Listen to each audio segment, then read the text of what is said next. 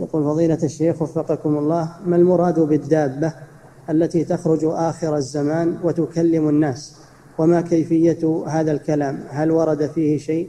هذا من علامات الساعة خروج الدابة وإذا وقع القول عليهم أخرجنا لهم دابة من الأرض تكلمهم. هذا في آخر الزمان من علامات الساعة الكبار خروج الدابة. تكلمهم يعني تكتب. على وجوههم هذا كافر وهذا مسلم. نعم.